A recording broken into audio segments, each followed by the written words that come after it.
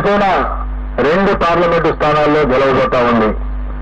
అలాగే అసెంబ్లీ స్థానాల్లో పిఠాపురం నుండి పోటీ చేసినటువంటి జనసేన పార్టీ వ్యవస్థాపక అధ్యక్షులు శ్రీ పవన్ కళ్యాణ్ గారు భారీ మెజార్టీతో గెలవబోతా ఉన్నారు.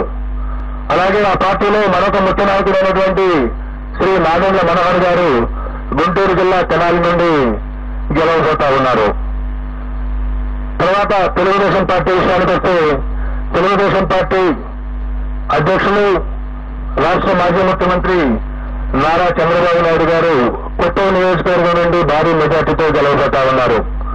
అలాగే వారి తనయుడు మాజీ మంత్రి శ్రీ నారా లోకేష్ మంగళగిరి నుండి గెలవబోతా ఉన్నారు. అలాగే శ్రీ శ్రీ నందమూరి బాలకృష్ణ గారు హిందూపురం నియోజకవర్గం నుండి మంచి మెజారిటీతో గెలవబోతా ఉన్నారు. ఈ విధంగా ప్రతిపక్ష పార్టీలకు సంబంధించి ముఖ్య నాయకుల విషయాన్ని చూసుకున్న తర్వాత ఆంధ్రప్రదేశ్ అధికారంలో ఉన్నటువంటి వైఎస్ఆర్ కాంగ్రెస్ పార్టీ యొక్క మంత్రివర్గంలో అనేక మంది మంత్రివర్గ సభ్యులు తీవ్రమైనటువంటి పోటీ ఎదుర్కొంటున్నారు. కొద్దిమంది ఓటమి చవిచూడబోతా ఉన్నారు. ఇందులో ముఖ్యంగా మనం ఆంధ్రప్రదేశ్ ముఖ్యమంత్రి శ్రీ వైఎస్ జగన్మోహన్ రెడ్డి గారు పులివెందుల అసెంబ్లీ నియోజకవర్గం నుండి భారీ మెజార్టీతో గెలవబోతా ఉన్నారు. అలాగే సిదిరి అప్పలరాజు గారు ప్రస్తుత మంత్రి పలాస నుండి ఓటమి చవిచూడబోతా ఉన్నారు.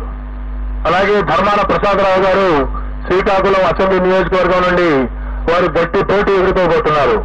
నేను ఎక్కడైతే గట్టి పోటీ అని సం- సంబోధిస్తానో అక్కడ మా మార్జిన్ ఆఫ్ ఎర్రర్ ఏదైతే ఉంటుందో ప్లస్ ఆర్ మైనస్ త్రీ పర్సెంట్కు లోబడి ఫలితం ఉండే అవకాశం ఉంటుంది. కాబట్టి plus or minus three percent ఉన్న దగ్గర నేను గట్టి పోటీ అని సంబోధించడం జరుగుతుంది.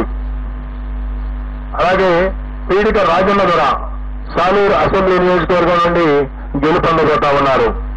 అలాగే బొత్స సత్యనారాయణ గారు మాజీ ప్రస్తుత మంత్రి మాజీ పిసిసి అధ్యక్షుడు చీపురుపల్లి అసెంబ్లీ నియోజకవర్గం నుండి మంచి మెజారిటీతో గెలుపొందబోతా ఉన్నారు.